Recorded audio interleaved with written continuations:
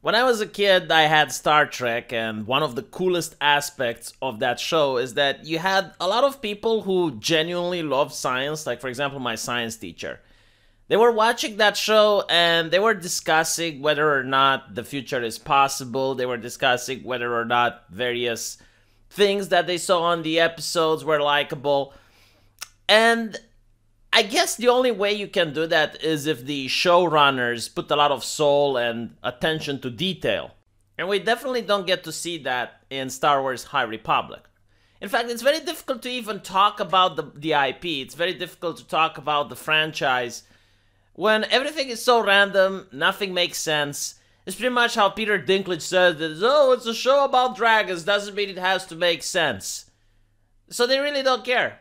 And this picture is just a nitpicked example of it. But if you actually read the comic books, you'll find just so many examples where everything is stupid and dumbed down and zero attention to the detail.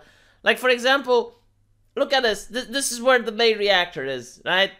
I mean, imagine. Imagine if it actually gets attacked by enemy ships. Why would you have the main reactor into the asshole? Like, wouldn't it make sense that the main reactor would be the most defended? Like it, it would have to be in the middle. Not not to mention like why would you even build it here? Like it, it just takes longer for the energy to go where it's needed. It makes absolutely no sense. And kinda kinda sad, I guess. You know, it's just as I mentioned before, one example of how they really don't care. It's like they just throw things there and they don't really think about the detail or anything like that. They have no passion and no soul for what they're creating. But this is something you can overlook. What you can't overlook is the lore. And the lore is so bad that they've hired Sargon of Akkad to write for them, I assume, because I can't find any other explanation. So for those of you who don't know, let me explain to you the difference between the Jedi and the Sith in the Star Wars universe. It's kind of like the X-Men, kind of like Charles Xavier School of Mutants. You have people that have supernatural abilities. They can tap into the Force.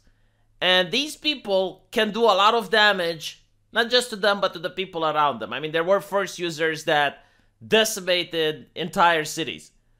So, in order to prevent that from happening and not just take out any single force user Warhammer 40k style, a consensus was reached, and you have the Jedi Order. So, this order teaches people to use the force in a manner that's not harmful for them or the people around them. And in order to do that, you have to do it through meditation, through achieving peace of mind, through calming your emotions.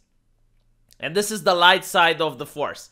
And then you have the dark side of the force. The dark side of the force is tapping into raw emotion, into raw power in order to control the force.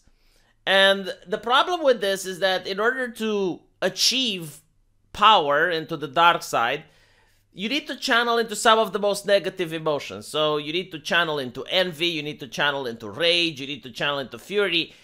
And the dark side is very addictive and it causes an individual to seek power at the detriment of those around them. So people in the dark side become so powerful, so strong, uh, and everyone around them suffers. Now, there's another aspect of this, and that is that the light side is simply asking the Force for help. It's a symbiosis with the Force. Meanwhile, the dark side bends the Force to its will, it enslaves the Force. So the problem with this is that the Force is what keeps the universe alive. It, it, without the Force, you have entire planets withering and dying. So the dark side is more like a virus on the Force. It, it actually hurts the living things that connect us all.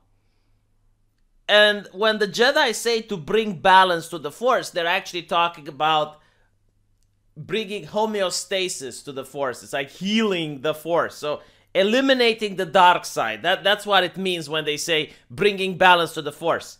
It doesn't mean what a lot of people who only watch the movies or don't understand the lore think it means. It doesn't mean like we need to have an equal number of Jedi and an equal number of Sith. It doesn't make any sense. But but here you're having this picture, right? Uh, this epitome of, of the High Republic, which proves Sargon right, because he, he also didn't understand the lore and made a disgruntled video. My God, I always wanted to say that because that's what game journalists say, right? Disgruntled video criticizing Star Wars uh, and pushing for Sith propaganda. Now, in this video, the Jedi and the Sith are working together. They're buddy buddies, they're friends.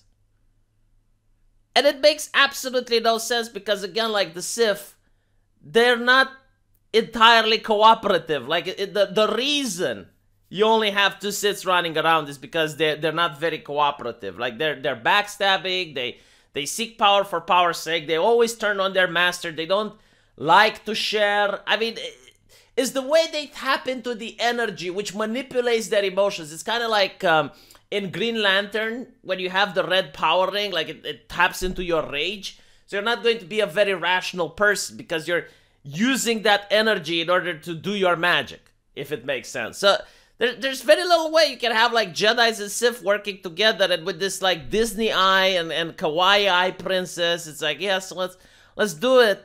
You, you go, girl. You know, doesn't matter if we're a Sith or a Jedi. We're, we're all women here, so uh, you you go, girl. Let's let, let's do this. Girl power, yeah. They're butchering the lore. I mean, Chef Ramsay probably isn't as good of a butcher as the writers here. Why are they doing this? I mean, I remember like seeing that whiteboard, uh, which came out from a corporate hellhole meeting, where the people from Lucas were talking about making the High Republic, and they were actually saying, "Yeah, let's make Star Wars, but without the war." I mean, recently they even had like the absolute state of Star Wars, where they had a cook-off, and I'm like, why are you doing this to this IP? What what has this IP done to you? I wish I could get these writers and ask them. It's like, so show me on this doll where this IP touched you because there, there's no reason to be so vindictive about it. Why are you so spiteful to this IP? What what has it done to you to deserve this? And obviously, I, if if I go into the comics, like you just do not understand the horror. Like, there, there is a horror that I never thought possible, and it's only in this comics. At this point, they should have just made a different IP. But again, like the, if they would have made a different IP, no one would have bought it. The only reason people buy this is because it has the Star Wars logo. That's it. That's the only reason it sells. They are so talentless. They they have absolutely no idea. Like if I were to be placed in a position to make a great show or a great comic, like let's say you put me in charge of making Warhammer 40k. I don't deserve to be in charge of making Warhammer 40k because I'm not an expert in the lore. I'm not that passionate. But if I was given that opportunity, do you know what I would do? I would study Warhammer 40k nonstop. I would get all the important books. I would read them religiously. Why? Because it's a great opportunity to actually have a good career and make money. But these people aren't even interested in making money if they put this stuff out. Like, they don't understand what the franchise is about. They don't understand what the lore is about. And then they're putting out this garbage. You know, I don't think that when these people stop working, they talk about Star Wars. I, I generally don't think that. I think they talk about socialism and they talk about progressive ideology. They, they're not interested in Star Wars. At least if they are, I, I just don't see it. I, I, it doesn't reflect in their work. But hey, you know, let me know what you guys think, and I'll see you in the comment section. Take care.